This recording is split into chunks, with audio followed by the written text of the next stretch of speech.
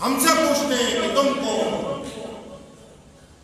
काले पानी की कोठरियों से जाकर क्यों नहीं पूछते? जहाँ सुबह से लेकर शाम तक अंग्रेज़ शाह महमूदुल हसन रहमतुल्लाह अलैह के ऊपर दुर्रे मारता है और सामने फतवा रखा है कि लिखो इस पर कि अंग्रेज़ के हक में हुकूमत का ताउन जायज़ है इस पर लिखो कि अंग्रेज़ के खिलाफ लड़ना हराम है शाकुल हिंद ने सारी ज़िंदगी दुर्रे खाए लेकिन कभी अंग्रेज़ के आगे माफीनामा नहीं लिखा है लाल किले की तरह दीवार से पूछो, चांदनी चौक की, उस सड़कों पर जिनके नीचे बेशुमार मुसलमान सुर्ख पोचों के जनाजे दफने आ चुके कि उस वक्त अंग्रेज़ के दांत खट्टे करने वाले हम थे अब जाएँ मेरठ की छावनी में अठारह की जंग आज़ादी में और हिंदुस्तान के वायस सराय को जो अपने आप को वक्त का सबसे बड़ा शहनशाह समझता था, उसको जानू अगर किसी रसीद ने किया तो ये शहादत अल्लाह तुम्हारे बता मुसलमानों को अता फरमाई। हमारी क्या दुश्मनी थी अंग्रेज़? से हमारी क्या अंग्रेज़ के साथ दुश्मनी थी हमने अंग्रेज़ के खिलाफ साढ़े तीन सौ साल के लंबा जिहाद का सिलसिला अपने इस मुल्क की मिट्टी की आज़ादी के लिए किया तुम हमसे यह पूछते हो कि ये बताओ कि तुम पहले मुसलमान हो कि हिंदुस्तानी हो हमारी अंग्रेज़ से दुश्मनी क्या थी हमने मलका इज़्ज़त के दांत क्यों कटले किए हमने वायसराय की टांगे क्यों तोड़ दी हमने दुनिया की वो ताकतवर तरीन हुक्मरान जिनका सूरज कभी नहीं डूबता था उनके टुकड़े करके रख दिए इसलिए क्योंकि वो हमारे वतन के ऊपर काबज थे मौलाना मोहम्मद अली जौहर को किसी ने पूछा था हिंदुस्तान की जंग आज़ादी का बहुत बड़ा कायद था खुद भी कुर्बानी दी, भाइयों ने कुर्बानी दी, और जब जेल चले गए तो सत्तर साल की बूढ़ी माँ, जिसको हिंदुस्तान की तारीख ने पी अम्मा का नाम दिया है, सत्तर साल की बूढ़ी माँ ने खिलाफत का झंडा उठाया, और हिंदुस्तान के शहर शहर गई है। मुसलमानों को, हिंदुओं को, सिखों को इकट्ठा करने के लिए क्या इकट्ठे होकर जरा इन जालिमों का जवाब दें। उनसे भी किसी फिरका परस्त ने पूछा था कि जौहर तुम पहले मुसलमान हो कि हिंदुस्तानी हो फरमाया कि मैं पहले मुसलमान हूँ पहले मुसलमान था पहले मुसलमान रहूँगा और अगर तुम मुल्क की बात करते हो तो पहले मैं हिंदुस्तानी हूँ और हिंदुस्तानी था और हिंदुस्तानी रहूँगा तुम्हारी फिरका परस्ती की बातें मेरे अंदर से मेरे देश को नहीं निकाल सकती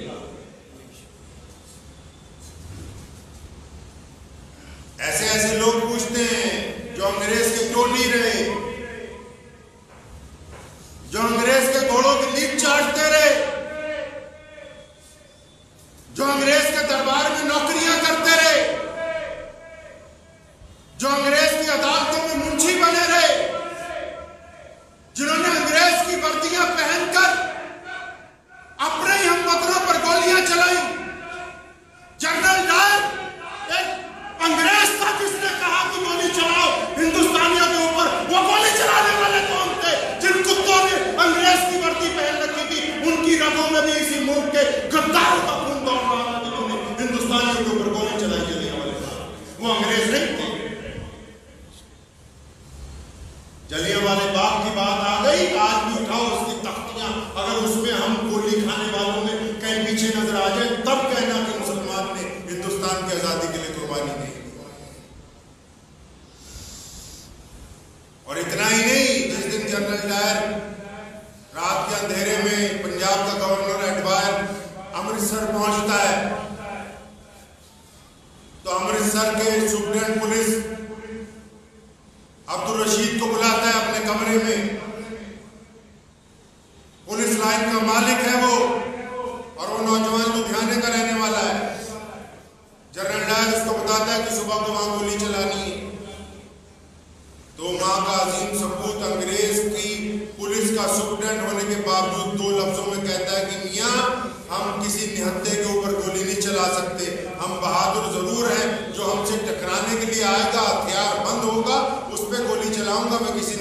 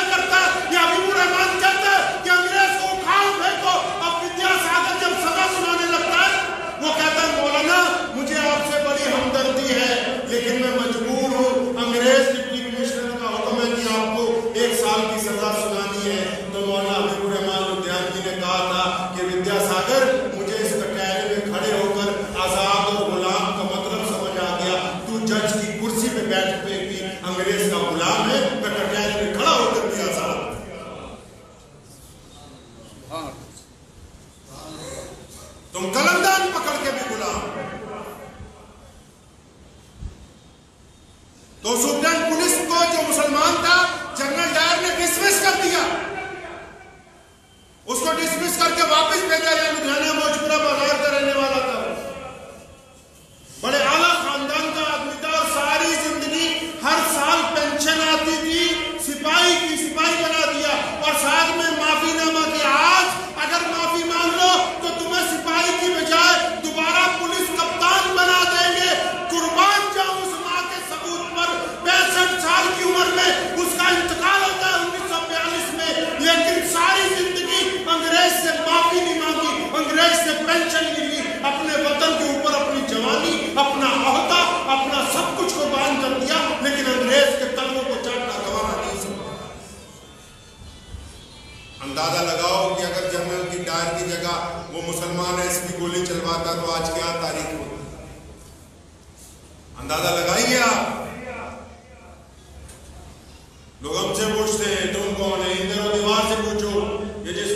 बैठ गए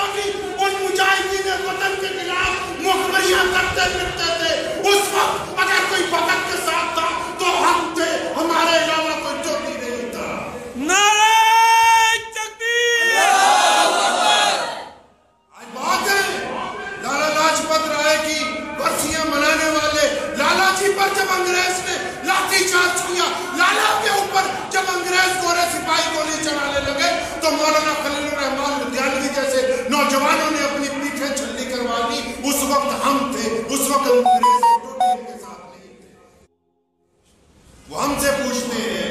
कि तुम कौन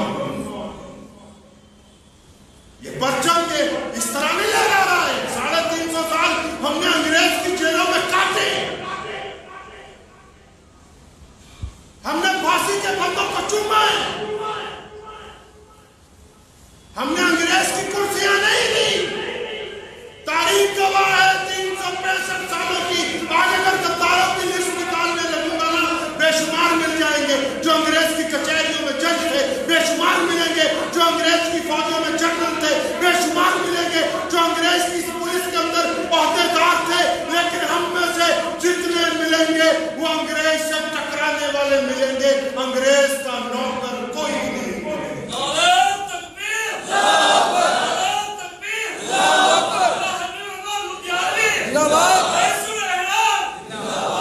भोजपुरे की ये तारीखी मस्जिद अब नहीं रही जिसको गिरा के अब नहीं बनाया गया उसको अंग्रेज़ ने तीन दफ़ा इसलिए गिराया कि भगत सिंह और उसके साथी वहाँ छुप तीन दफ़ा इसलिए मस्जिद को गिराया कि यहाँ के मौलवी अंग्रेज़ के खिलाफ बातें करते। तीन दफ़ा उस मस्जिद को इसलिए आग लगाई गई कि ये कहते हैं कि हिंदुस्तान से अंग्रेज़ को निकाल दो। आज ये पूछते हैं, जिन्होंने किया कुछ नहीं, कि तुम कौन हो? हिंदुस्तानी भी हो कि नहीं हो?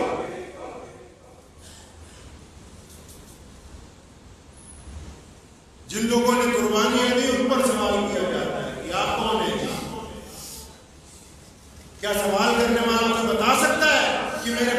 जेल काटी क्या कोई सवाल करने वाला ये बता सकता है कि मेरे दादा को फांसी दी गई? क्या बता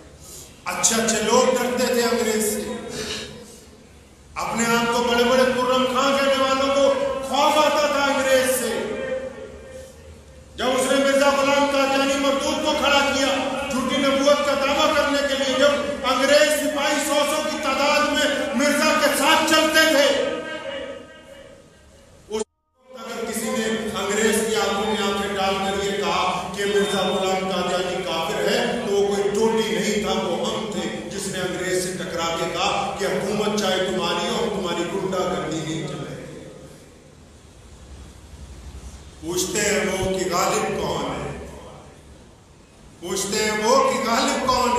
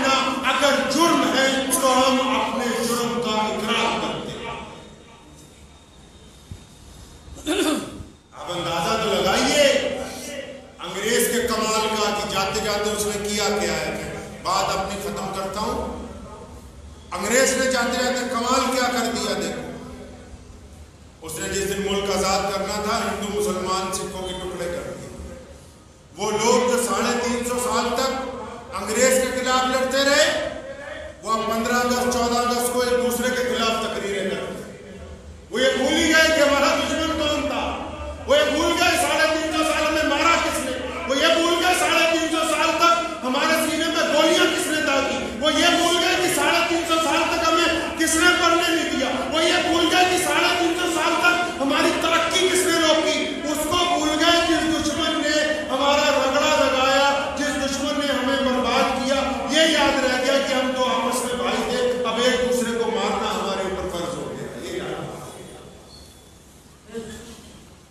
कांग्रेस का कमाल ये पंजाब जिसकी ज़मीन पे आप बैठते हैं, जब पंद्रह अगस्त आता है ना,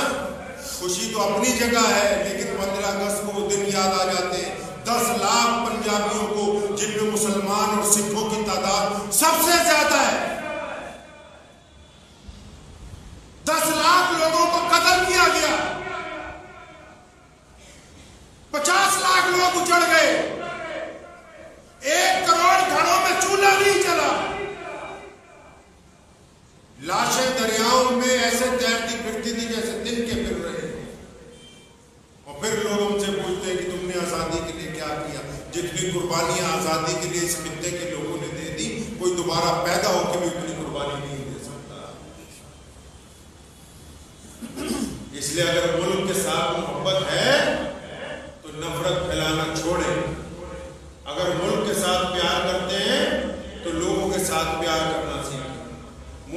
ज़मीन से नहीं बनता है।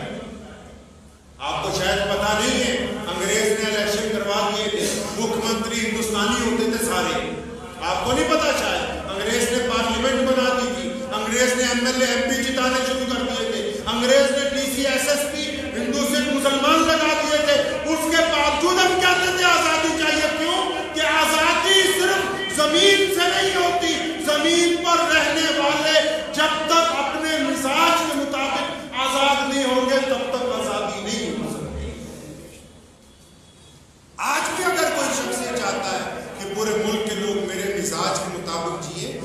हमारी आज़ादी पर हमला करता है, दुनिया का कोई आदमी किसी की आज़ादी को सलब नहीं कर सकता। रसूल करीम सल्लल्लाहु अलैहि वसल्लम ने फरमाया कि अल्लाह करीम ने इनको आज़ाद पैदा किया। किनको? इन बच्चों को, औरतों को, मर्दों को। फरमाया, जो बच्चा पैदा होता है, अल्लाह ने उसको आज़ाद पैदा किया, कोई उसको गुलाम नहीं बना सकता।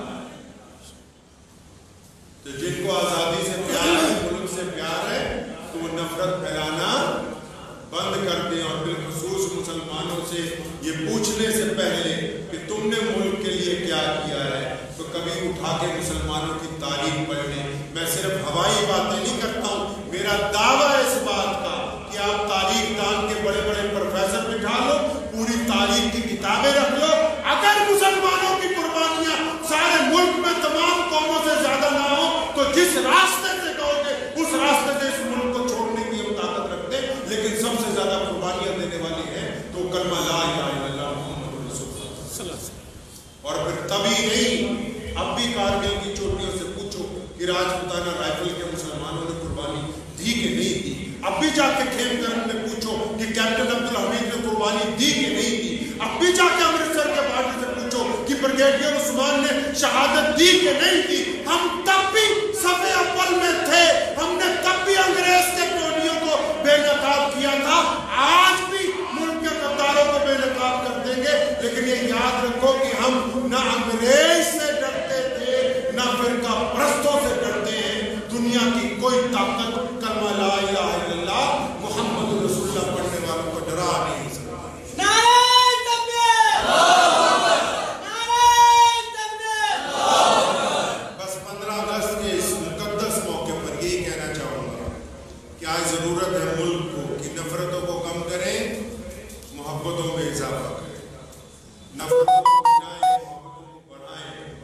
अगर हम समझते हैं कि हम वाकई इस मुल्क के अंदर ये चाहते हैं कि अच्छा निज़ाम बने, अच्छे लोग हों अच्छा माशरा हो तो सबसे पहले जो काम है, वो उस नफरत को ख़त्म करना है जिसका बीज अंग्रेज़ बो के गया है। दुआ कीजिए अल्लाह ताला मुझे और आप सबको इन बातों पे अमल की तौफीक अता फरमाए। वाह मुझे उम्मीद है कि आपको ये वीडियो पसंद आई होगी। अगर पसंद आई हो तो ये आप अपने दोस्तों के साथ शेयर करें और इस चैनल को सब्सक्राइब ज़रूर करें।